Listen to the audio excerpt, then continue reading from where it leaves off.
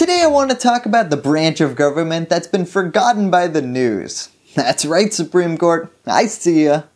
Turns out they're back in session and they started the year light by hearing arguments about whether you can legally fire someone from their job for being gay. Oh man, this episode is not gonna be a laugh a minute, is it? Now how this didn't make one minute of national news, your guess is as good as mine. I think at this point Samuel Alito would have to set himself on fire to get a CNN camera to take a break from reporting on the president. Today, my goal is simple. I'm going to listen to the case and summarize the major arguments from both sides that lawyers and justice justices made.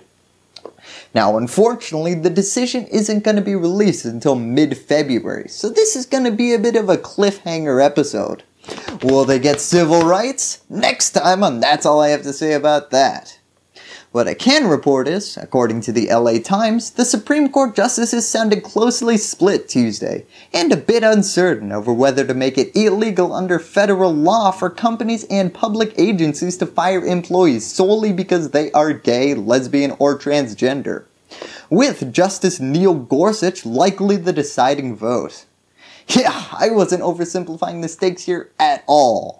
Now before we get into the legal arguments over whether you can fire someone for being gay, let's get a little backstory. It's actually pretty simple this time. This is the escalation of two discrimination cases. First, Donald Zarda, a New York skydive instructor, hey that's my state, oh oh, that's my state, who was fired after assuring a woman while strapping himself to her back that she had nothing to worry about because he was gay. Second, we have Gerald Bostock, who was fired from his job in Georgia as a child welfare services coordinator after he joined a gay softball league. These two individuals sued citing discrimination, which brings us to today. With that, let's jump right in. We'll hear argument first this morning in case 171618, Bostock versus Clayton County, and the consolidated case. Now the important document in question here is the Civil Rights Act of 1964, which prohibits employer discrimination because of race, color, religion, sex, or national origin. As you may have noticed, sexual orientation isn't on that list, which leads to an oddly homophobic defense of gay people having equal rights. Homophobia? Well, that's actually really sexist. I think I might have hit Tumblr bingo with that sentence.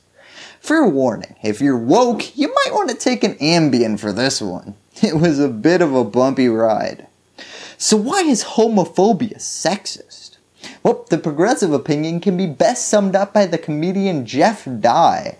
A hypocrisy, you know? Why is it when a girl goes out and sleeps with a bunch of dudes, she's considered a slut? Right? But when a guy does it, he's considered a homosexual. Now if you think that I'm in any way exaggerating, here are the first words out of the progressive lawyer's mouth. When an employer fires a male employee for dating men but does not fire female employees who date men, he violates Title VII. The employer has, in the words of Section 703A, discriminated against the man because he treats that man worse than women who want to do the same thing. And that discrimination is because of sex. Whew, I warned you, this is a weird one. Oddly enough, in this upside down world of constitutional law, conservatives were trying to argue that gender and sexual orientation are two separate entities, while progressives were trying to argue, no, you can't detach gender from sexual orientation. Why can a woman date a man but a man can't? Sexism, haha. This argument applied a sexism test created by the Supreme Court in 1984's pension disparity case that basically said that if you leave everything the same except for the gender of the individual and a different, more damaging outcome came out, well, it's sexual discrimination. In that case, the logic was women live longer, so their pension should be more expensive. Changing the gender from a man to a woman raised cost for retirement benefits, and that was found to be sexual discrimination. In this case, progressive logic is, if a woman dates a man, she keeps her job. But if you change that to a man and that man dates a man, he gets fired. Manhart gave us a very simple test. And Manhart said, what you do when you look to see whether there is discrimination under Title VII is you say, would the same thing have happened to you if you were of a different sex? And um, Ms. Karlan made all the, you know, went through all the ways in which obviously the, the same thing would not have happened to you if you were a different sex. Using this odd logic, it seems like it would be incredibly hard to dispute this. But conservatives had two large arguments in their holster. The main argument was, whoa, whoa, whoa, these people aren't sexist, they just really, really hate homosexuals. If given the opportunity, they would just as gladly fire a homosexual of the opposite gender. As United States Solicitor General Noel Francisco put it, I, I do think that the question is always, are you treating uh, similarly situated men and women differently? Is it still sexism if you're an equal opportunity homophobe? Hey, I'll fire a lesbian or a gay person. Progress. I think that as long as you're treating gay men and women exactly the same regardless of their sex, the contributing cause is sexual orientation, not sex. This argument was pretty effective too, as when I was listening to this case, I actually had a bit of a spit take moment. Here's the progressive lawyer responding to that argument. The cases that are brought are almost all brought by somebody who says, my employer knew who I was and fired me because I was a man or fired me because I was a woman. Somebody who comes in and says, I'm not going to tell you what my sex is, but believe me, I was fired for my sexual orientation, that person will lose. Wow, that's really, really, really a pretty big concession. I mean, at this point, I think it would have been a better plan to just plead the fifth. What you said right there was, if your employer knows you're a homosexual but doesn't know your gender and fires you because you're a homosexual, that's not sexual discrimination and therefore not protected under Title VII of this act. The next line of questioning went on to show the difference between indiscriminately firing homosexuals and discriminately firing them. Specifically, one is discrimination. Your argument is that discrimination based on sexual orientation necessarily entails discrimination based on sex. But if it's the case that there would be no liability in the situation where the decision maker has no knowledge of sex, then that can't possibly be true. If there was that case, it might be the rare case in which sexual orientation discrimination is not a subset of sex. But in the case where the person knows the sex of the person that they're firing or refusing to hire, and knows the sex of the people to whom that person is attracted, that is sex discrimination, pure and simple.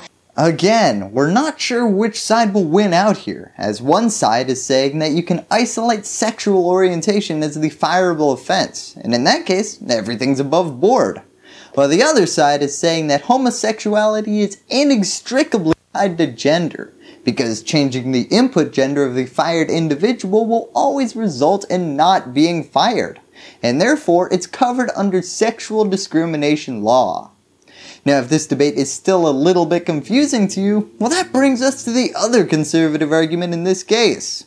Hey Congress, why don't you pass a law protecting employment rights for gay people so that we don't have to play book club with a law that was written at a time when 16 states had criminalized lesbian acts and homosexuality was still labeled as a form of mental illness? The argument here is, essentially, okay, you may be technically right that you can say homophobia is, in its nature, sexist. But come on, this is Congress in the 1960s we're talking about here. There is no way that they had this interpretation in mind when they passed this law. The issue is not whether Congress can or should prohibit employment discrimination because of sexual orientation. The issue rather is whether it did so when it prohibited discrimination because of sex. The argument here is that, well, legal protections for homosexuals is a pretty big reinterpretation of federal law, and therefore should be something that travels through Congress. You know, if you're willing to wait a few decades.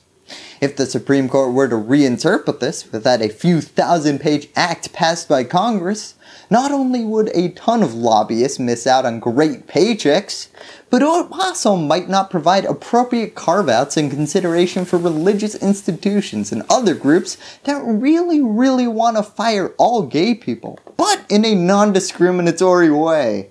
Here, I think that a judicial ruling would be particularly pernicious because when Congress seeks to expand the scope of Title VII's liability provisions, it typically couples that itself with an expansion of the religious employer's exemption to Title VII precisely because issues of sexual orientation, like issues of gender identity, raise different issues from a religious liberty perspective. The employee's position here would only do half of that work. It would expand the scope of liability without giving any consideration to those religious liberty interests on the other side of the balance, and that is precisely why this is the type of issue that is better left to Congress than the courts. Now the response to this argument was really swift and pretty hard to rebut.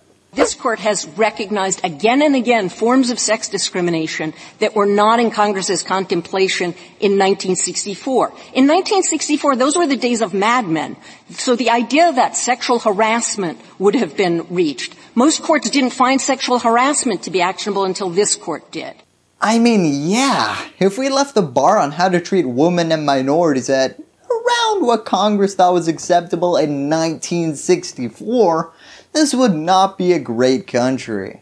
I mean, at that time, same-sex sexual harassment was straight up not illegal, which led to the horrifying Supreme Court case of Oncale v. Sundowner that was mentioned quite a few times in the case today. It was about a straight guy who took a job at an all-male offshore oil rig and got, well, a lot worse than sexually harassed by his male counterparts. Unfortunately, when he sued, whoop, same-sex sexual harassment was totally above board and the, wow, that case happened in 1998? Jeez. In that case, the Supreme Court ruled that they were going to reinterpret this title of the 1964 Civil Rights Act to say, hey, same-sex sexual harassment is still sexual harassment, rather than waiting for Congress to figure that one out. We would not be deciding a major policy question that was not in Congress's mind in 1964 and that Congress has repeatedly failed to address in the years since then. No more than what you did on Oncale. Now to the outcomes of this case. If progressives win, it would be illegal to fire someone for being gay. Pretty sure most of you probably picked that one up the first hundred or so times I said it.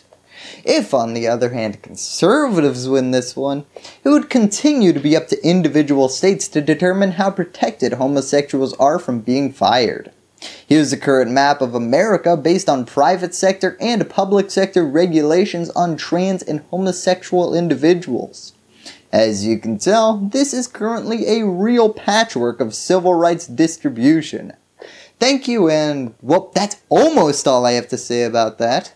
The Supreme Court immediately after hearing arguments on this case then heard arguments on the case of whether you can fire an individual for being transgendered. If you want to hear the breakdown of arguments from that case, well, let me know in the comments. If, on the other hand, you're thinking to yourself, yeah, I think I got the gist of what's going on here, and I can probably guess the arguments. Also, just let me know in the comments. Hello YouTube, I'm proud to announce that I just opened up a Patreon account. Special thanks to Yin Centeno for suggesting I do so, and becoming my first patron. If you want to join, there's a link in the description and probably a floating box around here. If you want to support independent, nonpartisan news looking into the legal arguments of the day, remember to subscribe by clicking on this floating logo to the right of my head. Ring that bell so that freedom will continue to ring and give me a thumbs up if you like what you saw. Lastly, as always, thank you for watching.